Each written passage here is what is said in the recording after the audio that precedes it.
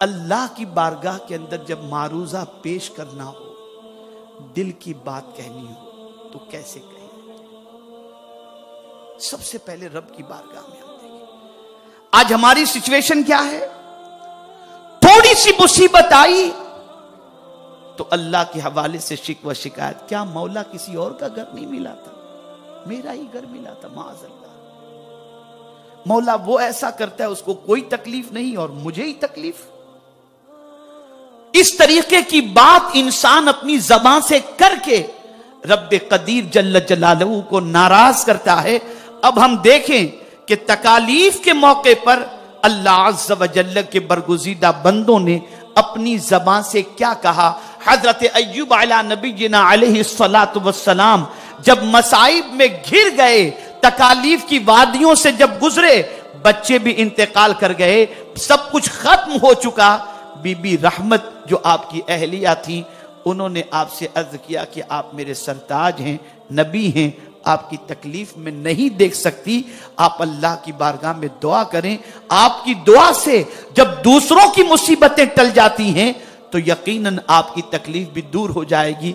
हज़रत अयूब सलाम फरमाते हैं, ज़रा ये बताओ, ये तकलीफ़ के कितने दिन हुए हैं? उन्होंने कहा, कुछ साल। कहा, राहत की ज़िंदगी कितनी गुजारी? कहा, बहुत सारे साल राहत के हमने गुजारे। तो फरमाते हैं, मेरी शरीक हयात, अल्लाह की बारगाह के अंदर तकलीफ़ की शिकायत करते हुए मुझे शर्म आती है। बीवी ने कहा मैं आपकी परेशान, आपके इस जज्बे की कद्र करती हूँ, लेकिन आपकी परेशानी में नहीं देख सकती। इसलिए बारगाह समदियत में दुआ करें, आपकी दुआ से आपकी परेशानी दूर हो जाएगी।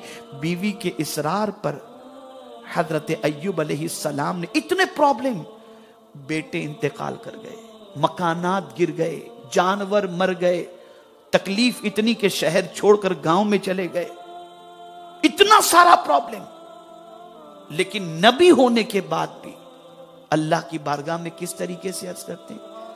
रब अन्नी मसनी दुर व अंत अरहमुर्राहिमी ए मेरे रब, मुझे तकलीफ़ पहुँची और तू रहमान रहीम है। बस इतना कहना था कि मौला को ये अदा पसंद आ गई। फरमाया उर कुज बिरिज लिखा मुख्तसिलुम बारिदुम व शराब। ठोकर मारो अपने पैर से और जो पानी निकले उसे पियो और अपने बदन पर डालो। अल्लाह अकबर, आपने जैसे ही ये किया, अल्लाह ने आपको शिफाता फरमा दी। शिफाता फरमा दी। तो फिर देखिए ना, होता है ना। कभी दुआ कबूल हो जाती है तो आदमी थोड़ा सा आपे से बाहर होता है। मेरी दुआ कबूल हो गई। तो हज़रत अयुब सलाम नाजे बंदगी में मचलते हुए कहते हैं ए मेरे करीम, मैंने कैसा सब्र किया ना? कैसा सब्र किया? इतनी तकलीफ़ पर मैंने कोई शिकायत तेरी बारगाह में नहीं कि मैंने सब्र किया ना? तो अल्लाह ने इरशाद फरमाया ए अयूब तुझे सब्र की तौफीक किसने अता फरमाई? जैसे ही परवरदिगार की तरफ़ से यह आवाज़ आई आपने अपना गिरेबान फाड़ दिया, मचलने लगे वजद में आ गए। मेरे प्यारे आका सल्लल्लाहु अलैहि वसल्लम के प्यारे दीवानों, यहाँ एक कुरान की आयत की रोशनी के अंदर दस्तूर मिलता है, अगर तुम्हारी दुआ कबूल भी हो जाए, तुम मुस्तजाबु दावात भी हो जाओ, तुम्हारा कोई शागिद तरक्की के रास्ते पर भी पहुँच जाए, कामयाबी की बुलंदी पर भी पहुँच जाए, तब भी तुम्हें यही करना है। मा असाबक मिन हसनतिन फमिन अल्लाह जो भी भलाई पहुँचे, उसे अपना कमाल न समझो, उसे अल्लाह का फजल समझो। उसे अल्लाह का फजल। मा असाबक मिन सज्जतिन फमिन नफसिक। और जो तकलीफ़ तुम्हें पहुँचे, जो बुराई तुमसे सरजद हो, उसे अपना कसूर, अपने नफ्स का कसूर समझे। अब आप देखिए ना ये जो आज पूरी दुनिया में बॉम्बिंग हो रही है, पूरी दुनिया बारूद के ढेर पर है और साइंस के ऊपर लोग प्राउड कर रहे हैं टेक्नोलॉजी पर लोग प्राउड कर रहे हैं।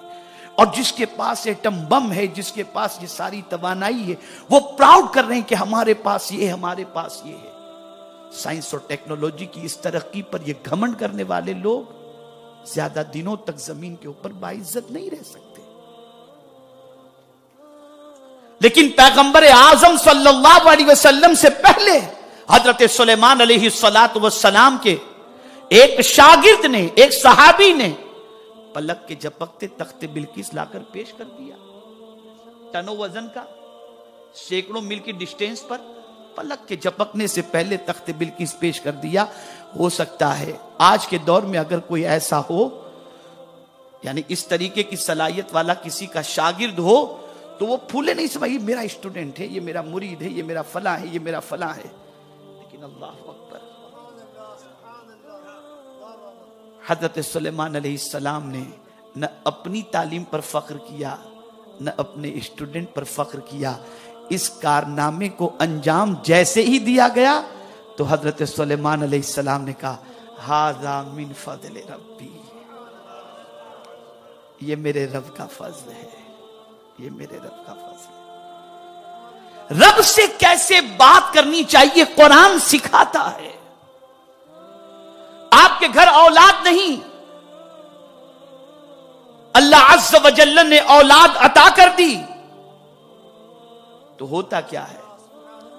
मौलाना यूनुस साहब, मौलाना निजामुद्दीन साहब, मौलाना अरशद मिसबाई साहब, मौलाना खैरुल हसन साहब, मौलाना इकबाल साहब जो भी तावीज़ात वगैरह बनाते हैं, उनके पास पहुँचे, हज़रत औलाद नहीं दुआ करें, तावीज़ दे दी गई, अल्लाह ताला ने फजल फरमा दिया, औलाद हो गई। तो सीधे आएँगे, गिफ्ट वगैरह सब पेश करेंगे, लेकिन औलाद के लिए दुआ क्या किया आपने क्या किया तो कुर्बान जाइए, हज़रत इब्राहिम सलाम ने बारगाह समदियत में दुआ की रब हबली मिनसफालहीन और जैसे ही परवरदिगार ने बेटा अता किया तो सबसे पहले दुआ की अल्हम्दुलिल्लाह वह बली अल किबर इस्माइल व इसहाक। इन लसमी हमारे यहाँ अगर जमाने के बाद बेटा पैदा हो तो पता नहीं उस बेटे के लिए हम क्या अरमान करें। लेकिन नबी बेटे के लिए अरमान बता रहे हैं कि मांगो तो रब से, क्या मांगो? रब बिजालनी मुकीम वमिन रब बना व तकबल दुआ। ये रब से गुफ्तगु का अंदाज कुरान सिखा रहा है। ये मांगने का ढंग कुरान सिखा रहा है। मेरे प्यारे आका सल्लल्लाहु अलैहि वसल्लम के प्यारे दीवानों रब कदीर जल्ल जलालहू की बारगाह के अंदर कभी नाजेबा कलेमात कहने ही नहीं चाहिए और कभी शिकवो शिकायत करना ही नहीं चाहिए।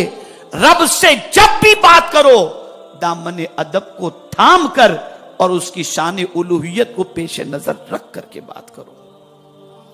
और जब जब कोई अदब से बात करेगा और जब जब कोई अदब बजा लाएगा, मेरा करीम उसके अदब की लाज भी रखेगा और अदब करने वाले को दोनों जहाँ की नहमतों से माला माल भी फरमा देगा।